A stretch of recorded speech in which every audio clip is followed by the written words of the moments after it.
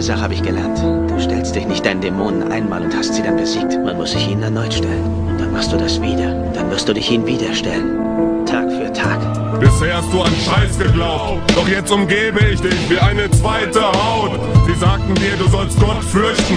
Ich sage dir, du sollst Gott stürzen. Kein Dämon sitzt zwischen den Zeilen. Sogar Buddha ist nicht so bad, wie es scheint. Ich bin dein kalter Schweiß. Deine Rückkehr zu deinem gewohnten alten Gleis. Schwere Leere, mieser Film, noch weit hinter deinem Spiegelbild. Deine Angst die zu erreichenden Ziele und die immer größer werdende Distanz. Von Liebe, falsches Verständnis, verletzende Spiele, die Lüge, wie Jesus, der Grund dafür, dass dir immer was wehtut, dein täglicher Zwiespalt zwischen deiner Einöde und ihrer Vielfalt, du bist nur ein Spielball, in deinem Leben nicht mal Auswechselspieler. Fühl dich niemals als Sieger, denn ich komm wieder und